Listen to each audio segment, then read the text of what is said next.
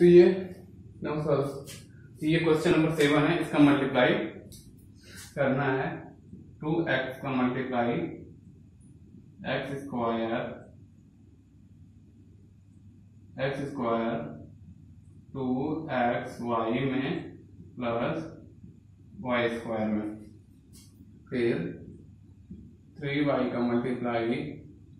x square two x y plus y square ये हो गया टू एक्स एक्स एक्स और एक्स स्क्वायर ये हो गया x cube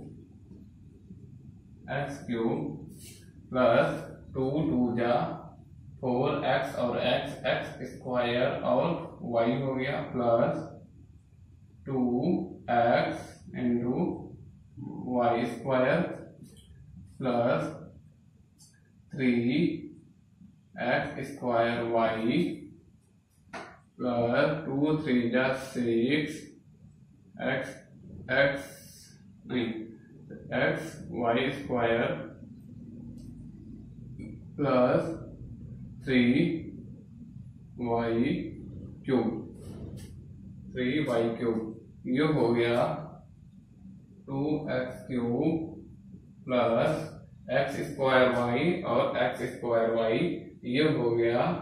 four three seven x square y और एक हो गया two x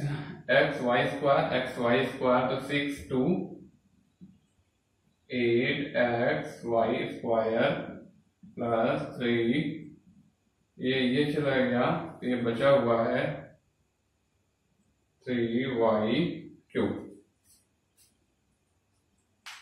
तो इसका आंसर है